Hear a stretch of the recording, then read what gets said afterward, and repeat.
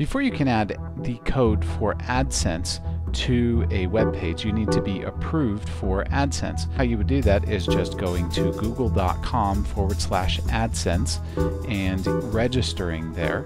And you will need to have a website or some other proof to Google that you should be approved. Once you are approved, then you can add to your WordPress site a simple ad unit at any point. There's also great plugins for WordPress. So I want to show you a couple of options very simply for ways to add AdSense to your WordPress site. This is a post on the Mobile Apps Colorado website, and let's say I wanted to add some ad code somewhere on this page. The simplest way to do this would be to go to my AdSense account, and on the My Ads page, create a new ad unit, and you can create a variety of sizes, a variety of different things.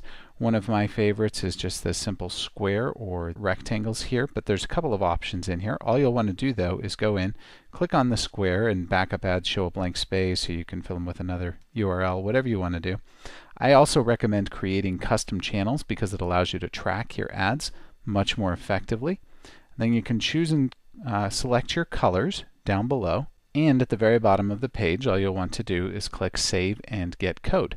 You'll want to play around with this and make sure it looks the way you want it to look and it's going to work well on your page from the color perspective. And then this is going to give you some code to put on your page.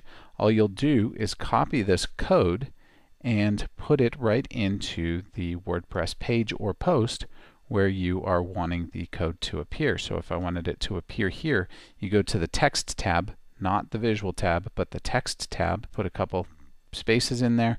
Go ahead and put the ad block in there.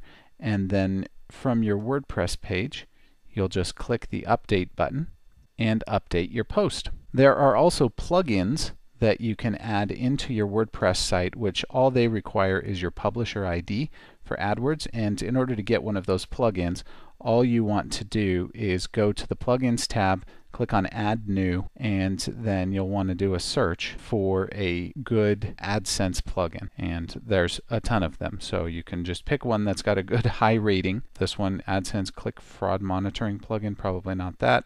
AdSense Explosion, automatically insert and optimize Google AdSense code to your site to increase profit. So that would be one way that you could add AdSense code as well is with a plugin. But if you want to copy and paste the code into any particular post, the easiest way to do it is what I've shown here. Hopefully this has been helpful for you. You can subscribe to the YouTube channel right here on the page, and you can also visit me online at striveforimpact.com. My name is Jonathan Kraft, and I strive to have a positive, meaningful impact on every life I encounter, including yours, because you've just watched this video. Thank you very much, and come visit me online, ask any question. I'll be happy to help in any way I can. Thank you.